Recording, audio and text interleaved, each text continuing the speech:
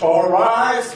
Superior Court is now in session. Dr. Judge Henry R. Thompson is presiding. Thank you. Be seated.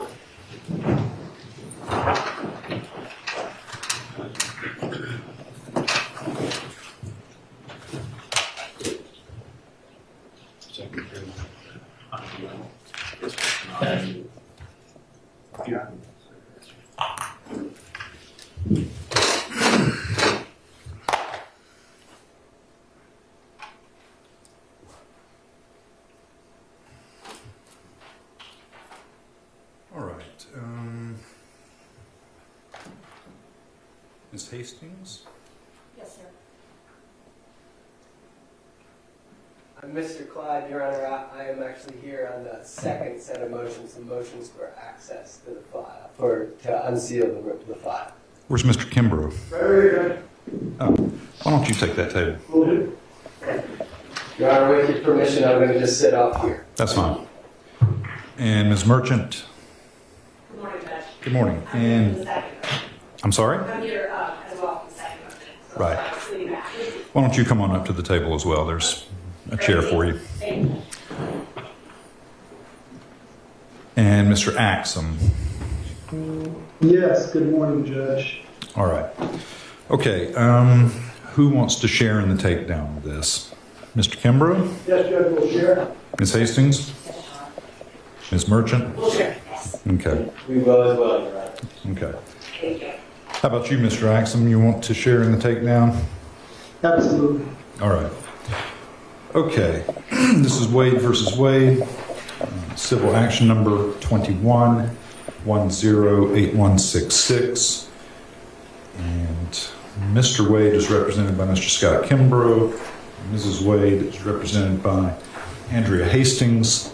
And we're here today for basically an emergency motion filed by Mr. Axam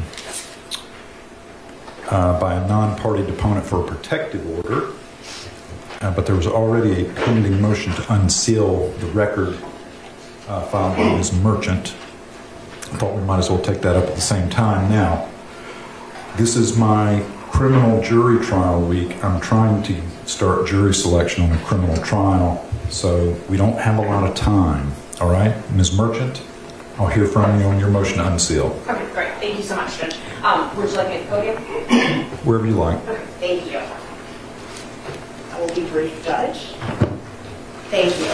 Um, Judge, Rule 24 says that there's a very specific process that has to be followed for an order sealing a record. It wasn't followed in this case. It was um, assigned to a previous judge, Judge Angela Brown, who entered a consent order under Rule 21 um, granting the seal in this case. It's our understanding from emails with counsel that um, Ms. Mrs. Wade's lawyers do not object to that seal order being lifted. I believe Mr. Wade's lawyers do, um, but we believe that it should be reversed and should be lifted because it was held without a hearing. It was held, as far as I understand, without a motion, and I can't guarantee that because I don't have access to those earlier records in the case because they are sealed. But um, it appears it was held, it was it was filed without a, without an actual uh, court hearing where the public was allowed to be present, and so that's in violation of Rule 21. Um, there's very specific and stringent processes that the court must follow before a record is withheld from the public, and they were not followed in this case, Judge. Um, the first is the motion, the second is a hearing, the third is that whoever wants it sealed has to identify specific parts of the court's file that need to be sealed. Um, also has to delineate the nature and the duration of the seal. None of that was done in this case. Um, and the fourth, which is the most important part of it, is the analysis that the court has to do. And what the law says in the seminal case is Atlanta Journal versus Long, which we cited in our motion, um, that an order limiting access shall not be granted except upon a finding of harm otherwise resulting to the privacy of the person in interest, and that harm clearly outweighs the public interest. In this case, Judge, there's been no allegations of harm that clearly outweigh the public interest. And so the first, uh, the first thing to consider is whether or not that order needs to be reversed. And it's our position that it does because it doesn't follow the law. Um, second, getting to whether or not an order should actually be entered now, sealing this, we do not believe that an order should be sealed. Has anyone filed one? No one has filed one. So um, if you reverse the order at that that point, if someone files it, then we can, we can litigate that. But just focusing on the reversal of the prior order, Judge, I think the law is clear that it should be reversed um, because none of those findings were made and the public didn't have an opportunity to be heard in that instance. And so that's, that's in violation of the law. And there's a couple different cases, um, I won't belabor the point, but all of the cases on, on this issue hold if there wasn't a hearing, it's got to be reversed. And so we think that that order should be vacated. Um, I've prepared a, a proposed order unsealing that um, if the court is so inclined. And then if there is some type of a motion filed or an order motion or an oral motion today to try and seal those records, if you are inclined to reverse, I'd like a chance to at least be heard on that as well. Thank you. All right, thank you. Ms. Hastings, what's your position? Your position, your position, Your Honor. My position is that we did consent to the sealing at the beginning of the case. There was a motion filed by the plaintiff on, on November 18th, 2021, approximately 16 days after we filed this. Um, We consented at the time.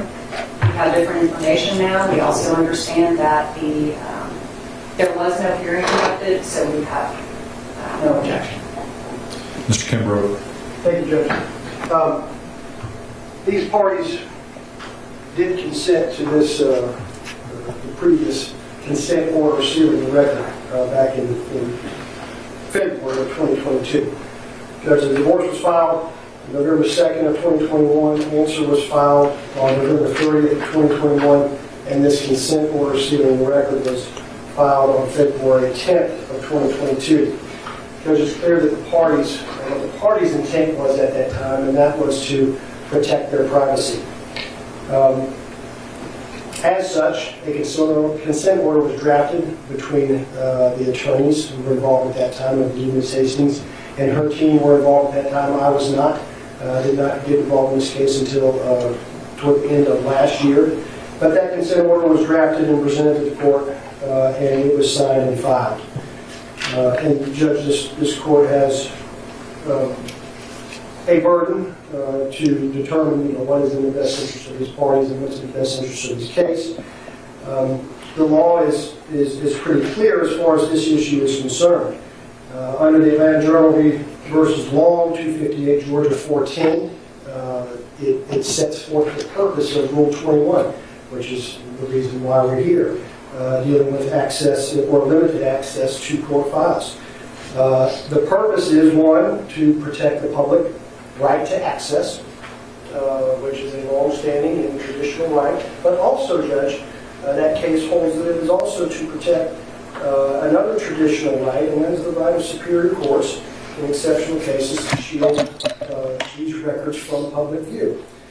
And the court has to weigh that. Um, As far as this situation is concerned, uh, the current status of this situation, that has happened since um, January 8th uh, of this year, uh, clearly shows the harm that is done to these parties and clearly gives credence to what the parties' intentions were back in uh, February of 2022 when they entered into this agreement to seal.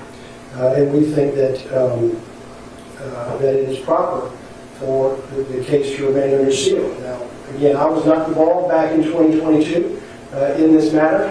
Um, It is my understanding there was not a hearing that was done. Uh, It was just a order that was prepared and presented uh, to the court, not this court, uh, but prepared and presented to the court, uh, and that order was signed off on and and filed. Um, And so we think that if, if this court does, based upon those facts, um, unseal this record, that this court should also consider putting in protections uh, for the parties' private information uh, pursuant to 911.7.1, uh, whi- which allows this court to do that. Thank you, Judge. Your Your Honor, our our motion is very similar. I understand, thank you. All right. I find that um, the prior order, although it was by consent of parties, uh, was not properly entered because the Uniform Superior Court rules require a hearing to be had.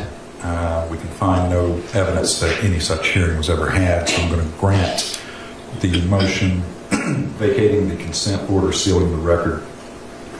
And I'll do that today. I'll have your written order. Ms. Merchant, Uh, Unless you have something else, you're excused. I do not, thank you so much, Judge. Good, that takes care of our things, thank you. Yes. Well done, Counselor.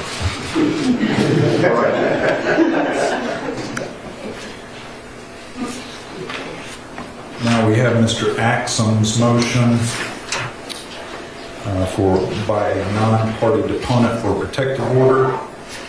Um, Mr. Axam and Ms. uh, Hastings has filed a response to that. Uh, Before we get started, uh, Mr. Axam, Ms. Hastings, I'll go ahead and tell you both. I've read the pleadings, so you don't have to read them back to me, okay, in making your arguments.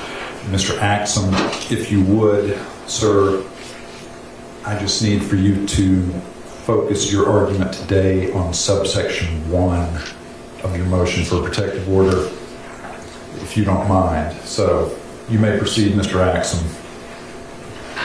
Okay, thank you, Judge. Give me one second.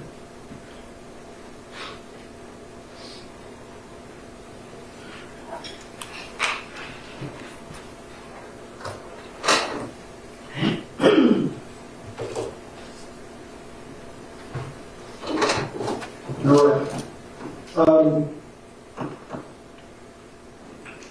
Your Honor, I, I know that you are asking me, and I will, I will be brief, um, to focus on subsection one.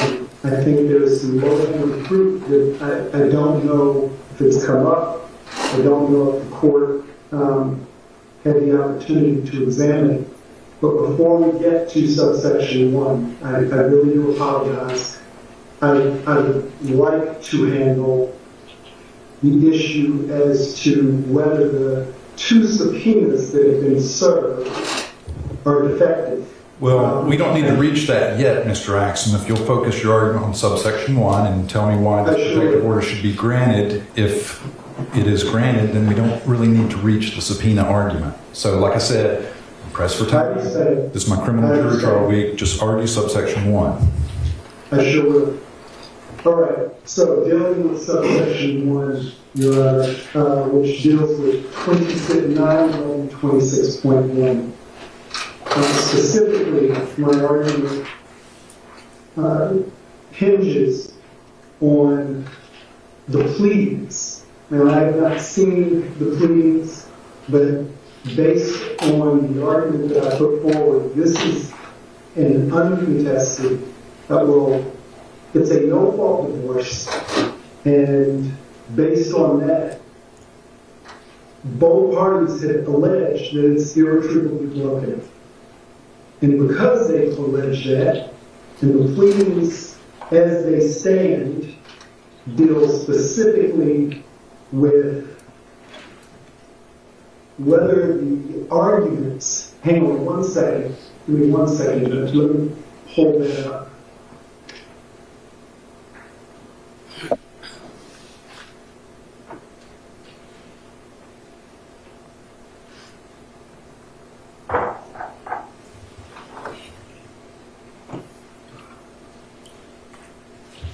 All right. The response in the uh, plaintiff's pleadings alleges that it is permissible to bring up issues regarding the conduct of the parties. But I believe the pleadings are the things that set the boundaries. So in this case, a no-fault discovery um, alleging adultery is not relevant. The defendant brings up in the response that the plaintiff did not tell the defendant he was separated. Plaintiff did not comply with discovery until the motion was actually filed. The plaintiff may, have used marital funds for the trip, but every one of those issues involves the plaintiff's actions during the divorce. Had nothing to do with Ms. Willis. The issue before the court, if it's a no-fault divorce, and it's irretrievably broken, is how do you divide the marital assets? And that is the issue that was brought up in response. So specifically, were dealing with equitable division of marital, the marital, marital estate, the dissipation of the marital assets, and the plaintiff's capacity to provide spousal support. So those three things are the things that the court has to deal with. All of those things sit squarely with the plaintiff. Ms. Willis does not share any accounts with him. D.A. Willis does not determine what he spends his money on, no matter where it comes from. So the issue is, if there's, if it's a no fault and it's irretrievably broken, and the pleadings dictate the boundaries of the case, it's not relevant as to fault. It's not relevant as to the conduct of the parties. So that's essentially my argument with regard to the irretrievably broken in 26.1. Um, I believe 26.1 protects because Ms. Uh, District Attorney Fani Willis is an officer as it is defined in 26.1. So it protects her. And according to 26.1b, there are two requirements that have to be met. The officer has to be high ranking, and I don't think that's in dispute. When you look at um, Ms. Willis and the demands on her office, Ms. Willis, as the Fulton County Office of the District Attorneys, the only way I can put this in context is to give you some background on that. She manages a staff of 360 plus lawyers and staff. She oversees cases right now, 20,000 open cases. She coordinates on a monthly basis at least 500 or more cases for indictment. So, in this case, of course, the most recognizable issue is that she's dealing with, over in Fulton County, the election interference case involving former President Trump. Well, I'll tell you what, Mr. Axam, let me interrupt you. Let me Yes. ask you just to focus on the part of the law that says um, the proposed deponent lacks unique personal knowledge of any matter that's relevant. Are you saying that uh, your client lacks unique personal knowledge that could not be discovered some other way? I would argue that she does, that the knowledge that she may or may not have is not unique. Um, you've got two parties in the case, one who is alleged to have some extramarital affair with Ms. Willis. If that is the case, if that is the case, if that is true, he has that information. We've been at this case, well, I have, but 783 days.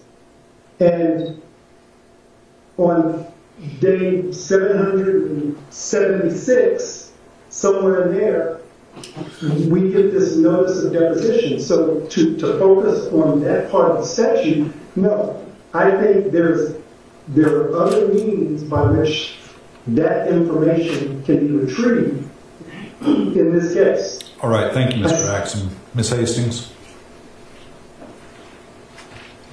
Wherever. Your Honor, I think that you honed in on exactly what the issue is here today, um, naturally.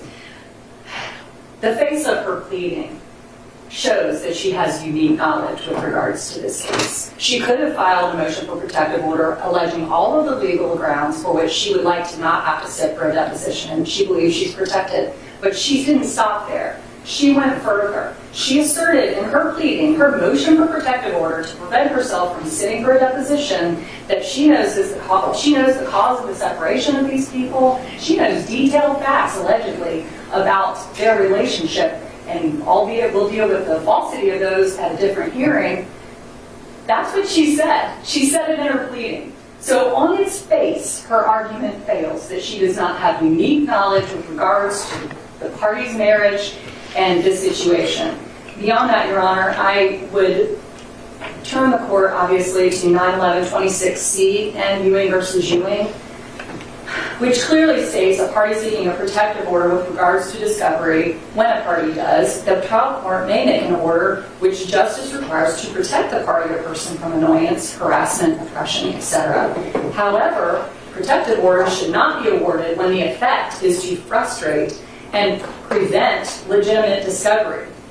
Furthermore, the Georgia Court of Appeals has held that protective orders are intended to be protective, not prohibitive.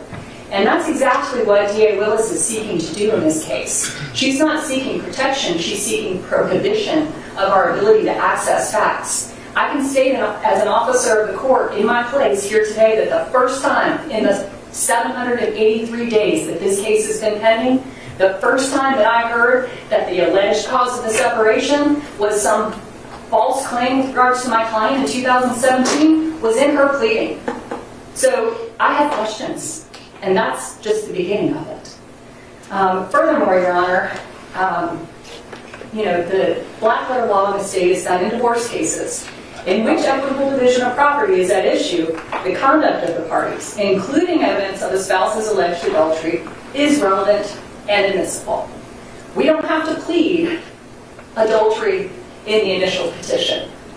But we also have the ability under OCGA 91115 to amend the pleadings anytime up until the entry of a pretrial order.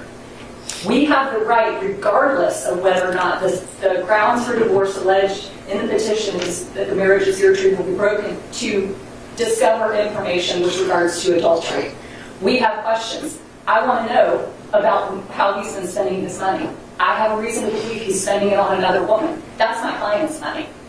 And I want to ask questions about that. She's trying to hide under the shield of her position improperly, I would suggest, Your Honor. There's a couple things that are improper about it. First of all, and I'd like for the court to clarify this, there's no doubt that she's, she's busy. She has one of the most active district attorney offices in the state. However, as Mr. Axam cited under 926.1, D2, if you look at that, it says the person seeking the protective order had unique personal knowledge of one or more matters relevant to the subject matter. We know she did. She put it in her pleading. Um, we also know that she did because although she asserted falsehoods in her pleading, we asserted facts in our response. And those facts, even the ones we've just shown, clearly demonstrate that she's got some unique personal knowledge in this case. But more than that, we're not, we're not seeking her deposition as the district attorney of Fulton County.